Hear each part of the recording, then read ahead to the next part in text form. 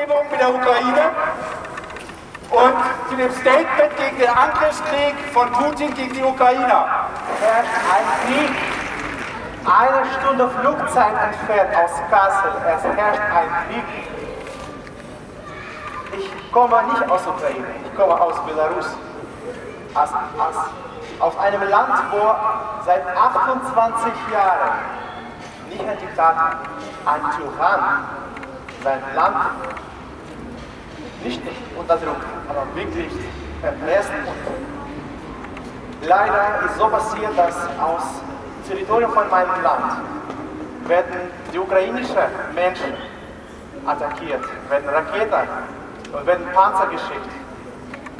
Und ich muss Ihnen ehrlich sagen, seit zwei Jahren mittlerweile ist eine Okkupation in meinem Land.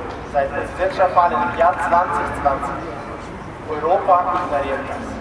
Es kommen sehr viele Flüchtlinge jetzt aus der Ukraine, die brauchen Hilfe. Und ich habe das Gefühl, dass Stadt Kassel kann diese Hilfe leisten. Ich bitte darum und ich bitte euch, auf diesem Platz jeden Abend zu kommen mit ukrainischen Flaggen. Dann wird unser Ruf sehr stark sein. Und jeder Tyrann wird wissen, dass Stadt Kassel ist nicht nur Dokument der Stadt Kassel, aber auch eine Stadt von europäischen Werten. Slava Ukraine!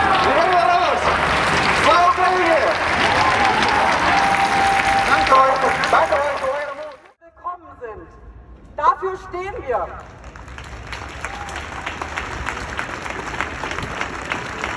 Der Landtag hat am Donnerstag die Flagge der Ukraine gehisst, mit Trauerflor versehen und den Generalkonsul der Ukraine angehört und eingeladen.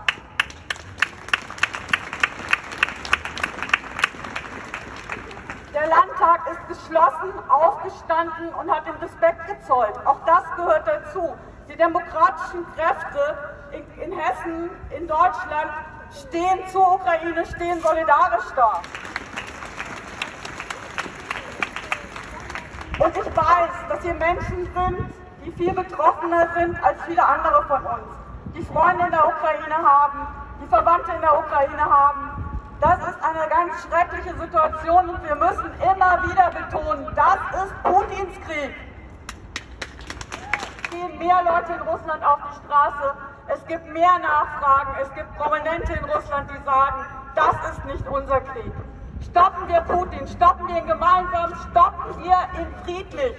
Denn das ist unsere Stärke, unsere Solidarität, unsere Demokratie, die Einhaltung der Menschenrechte. Wir sind gemeinsam stark. arbeite hier, erziehe meine Kinder.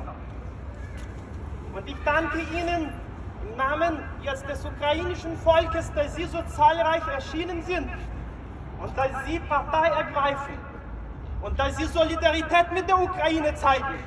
Das ist uns ganz, ganz wichtig. Ja, das ist schön, Verhandlungen, das ist schön, aber das hat alles nichts gebracht. Was sollte noch passieren? Jetzt ist es passiert. Die Ukrainer kämpfen heute. Sie werden kämpfen. Aber sie brauchen mit der Solidarität, sie brauchen konkrete Mittel, um zu kämpfen. Und endlich waren gestern diese Mittel auch von der Bundesrepublik geliefert, bewilligt. Das ist ganz, ganz wichtig. Das ist ganz wichtig. Zeit von den Politikern in der ganzen Welt vermisst. Leider.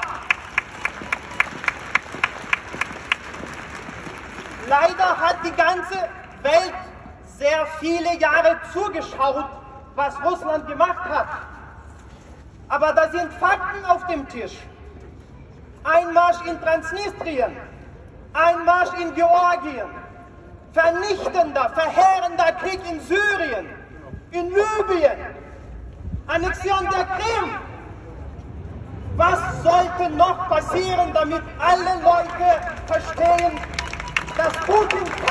hier nicht einfach nur vorbeigehen, die anhalten, die zuhören. Aber ich habe an dieser Stelle eine Bitte, einen Appell an, an Sie alle. Gehen Sie nicht einfach nur weg nach der Demonstration und vergessen Sie diese Worte nicht. Sie haben angehalten, Sie haben zugehört. Es ist jetzt wichtig, dass Sie was tun. Dass Sie was tun. Dass alle Bürger sich vereinen und uns helfen. Man kann mit ihm nicht verhandeln. Er verachtet die Leute, die zu ihm mit der gestreckten Hand kommen, die ihm die Hand schütteln und mit ihm sprechen möchten, die mit ihm verhandeln möchten. Er verachtet diese Menschen. Er gehört zu den Leuten, die leider nur ihre eigene Sprache verstehen, und zwar die Sprache der Gewalt.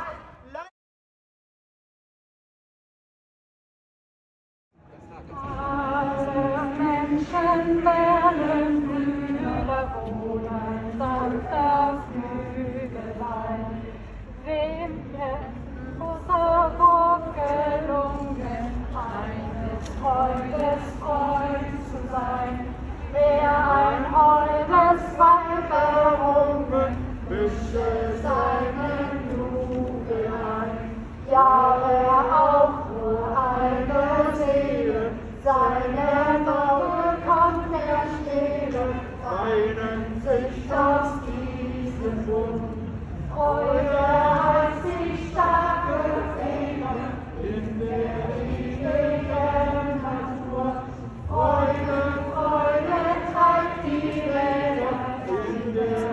der großen Weltenuhr.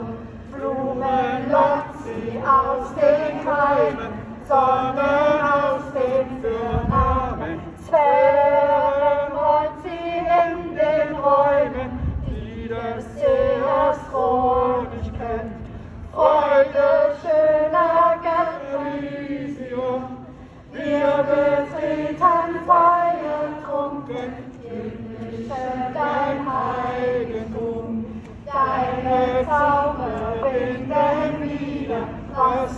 Mode streng geteilt. Alle Menschen werden Schwester, wo dein sanfter